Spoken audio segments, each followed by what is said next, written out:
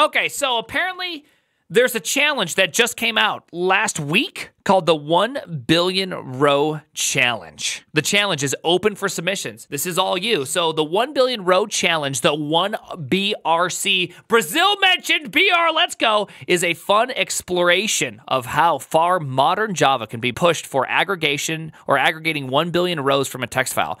Grab all your virtual threads, reach out to SIMD's nuts, optimize your GCs, or pull any other trick. What happened if the trick is to use Rust? Is that allowed? Is that allowed? I am coming to Brazil, by the way, in, in May. Uh, and create the fastest implementation for solving this task. All right, so what's the task? The text file contains temperature values for a range of weather stations. Each row is one measurement in the format of string, station name, double measurement, with the measurement value having exactly one fraction digit. The following shows 10 rows. Okay. The task is to write a Java program which reads the file, calculates the min, mean, and max temperature value per weather station, and emits the results on standard out like this, sorted alphabetically by station name and the result values per station in the format of mean, min, max. Okay, okay, okay. This actually does look really, really fun. I kind of feel like you got to open it up to a bunch of languages. This does sound really fun. Oh, then why do you have to put little braces around it? I'm confused why you got to put those things around it. Why do you got to put little squirrelies on the end of it? It's not valid JSON. What is it? I kind of want to try this. I mean, it's, it's not it's not very uh, hard. This repository contains two programs programs, dev Morling one BRC create measurements. That is the most Java ass sounding program name I've ever heard in my lifetime. Invoked via create measurements, shh, creates the file measurement text in the root directory of this project with a configurable number of random measurements. One Morling one BRC calculate average invoked via calculate average baseline, shh, calculates the average values for the measurements text. Execute the following clean measurements create with 1 billion rows, take a few minutes. Attention, the generated file has a size of approximately 12 gigs, so make sure you have enough disk space. I currently have 14 gigs available. Gibby bytes too, okay? They're not just gigs, they're gibbies, okay? Optimize the heck out of it. Just the calculate average program to speed it up in any way you see fit. Just sticking to a few rules described below. Okay, so what are the rules? Oh, hold on, we got some we got some flame graph and all this. The tip is to use JBang. Okay, so you got some flame graph, all this. The rules. Any of these Java distributions may be used. Any build provided by SDK man. Early access builds available on openjdk.net may be used, including EA builds for OpenJDK. Okay, here's the builds you can use. No external library dependencies may be used. Implementations must be provided as a single source file. Computation must happen at application runtime. You cannot process the measurements file at build time. For instance, using Graal, Graal VM and just bake out the results into a binary. Okay. Input value ranges as follows. Okay. There's a maximum number of 10,000 unique station names. Okay. Interesting. Implementations must not rely on specifics of a given dataset. Any valid station names as per the constraints above. Any data distribution. I wonder what I wonder what data structure you'd use. I mean, what data structure do you think you'd use? Obviously, heaps like the very simple one or a B tree right off the rip. Well, no, no, because you need to have the min, the max, and the mean or the median, right? Is it the median or the mean? Because if it's the mean, then yeah, yeah, yeah, there's no fancy data structures at all. Is it the median or is it the mean? Oh, is it really just the mean? Oh, it's just the mean, the min, mean, and max. Oh, that's not that bad. You need four numbers. You need min, max, sum, count. It's not even that. Well, you have to sort them, but sorting is easy. Sorting is not even a real deal here. Sorting is the end. Sorting is a constant time operation in this case. Now, you, I guess you could be clever about how you sort. Maybe there's some data structures that you could try to store things that come partially sorted. You'd want everything to fit into stack space. Could be interesting. I bet you the challenge is, is how do you navigate through memory well? And it looks like, okay, so it does look like this. It looks like everything is sorted via that. You could reduce your sorts, sort size. I don't know. It's, it's, it is interesting. So standard rules. Standard rules apply. Marquess of Queensberry rule apply. Entering the challenge to submit your own implementation of the 1BR Brazil mentioned. See, follow the steps. Create a fork of this. Create a copy of calculate average. Yeah, yeah, yeah, yeah, yeah.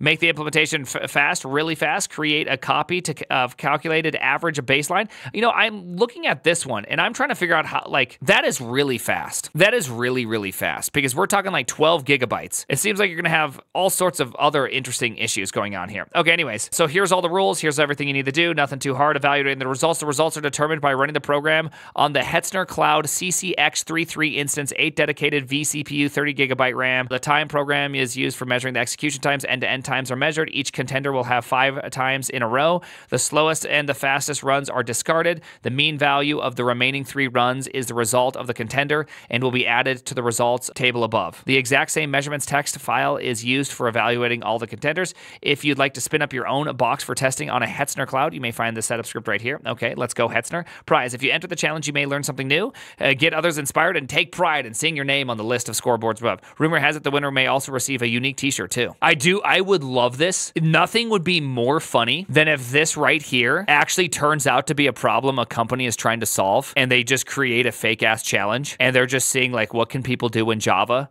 with the huge number of uh, you know values coming in and out and they're just totally brain ripping for a t-shirt. Like that would just be that would just be fantastic. That is hilarious. This is a super cool challenge though Honestly, this is a super cool challenge. I absolutely love this challenge. I'm curious what you can do. I'm curious what you can do with these challenges to figure out fast ways to go through things. Interesting stuff. Well, because you wouldn't want to even use something like lines, right? You wouldn't want to do any of that. You would want to just simply, you'd want to just scan forward, right? But I bet you there's really, there's like these fast ways to scan forward on a string. There's like these 64 byte or 64 bit compares. There's all sorts of crazy things. Then you got all the SIMDs in there. Like how do you, how do you SIMDs nuts well in this one? I wouldn't even know. How do you have like constant time? You could really make a constant size array for a couple things. It, would be interesting. I, I, don't know what I don't know what it would take, and I also don't know Java. I don't know what you can do with Java. I don't know. I don't know Java good enough to do anything. Going from four minutes and 13 seconds to 14 seconds is wild. Yeah, Four minutes to 14 seconds is wild because that's like a 16, that's a 17x improvement. If the actual problem is for a real company, the real solution is probably to use Java native interfaces and do it in assembly. Yeah, because you can do that. We did read that uh, hexing the Java interview, um, hexing the Java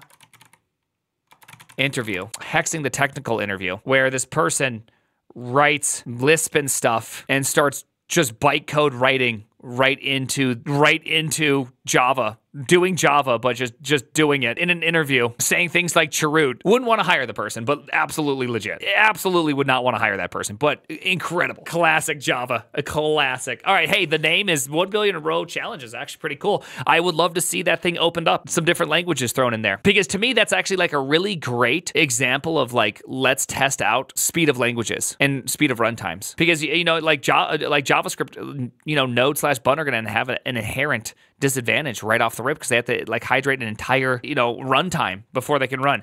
Nothing too exciting. mmap the whole file split into slices per core. Partial results about 15 uh, seconds on a Mac 2 per Pro. Bam. I had the same idea. Runs in 127 milliseconds on this how are utilizing a wow looking uh, better at my oh, seems to be cut off yeah whenever you if you were able to read a 12 gigabyte file in less than a second your first question should be oops no, that's nothing. That's not Rust. That's nothing. Okay, there's bus speeds. The speed in which you can read a file is your upper bound, right? There, there is an upper bound that exists, and you can't, you can't do that. Use a RAM disk. Damn, son, how big's your RAM if you have a RAM disk? Upper bound on speed, lower bound on performance. You're right. Yeah, upper bound meaning like I, when I said upper bound, it's some I inversed it in my head, but you're right. Lower bound would be the the correct one, the lower bound of the of the running time. Yeah, dude, not even an SSD. You just straight up have a RAM for your disk when you turn on your computer. Burnt in operating system in the first so many burnt it. You could do a real time op that way. I bet you there's some real time operating systems that would work that, that you could have everything on RAM. I bet you there's something that is just like wild. Maybe that's the future. Maybe that's the future of computing is everything actually does RAM. It'd be kind of cool. Finally, JS would be less slow. JS would somehow figure out how to be slow. Imagine hot reloading RAM sticks. Damn. Linux already does 90% of the files in RAM. Nice. That's, I mean, that's exciting. It would be kind of wild to see that.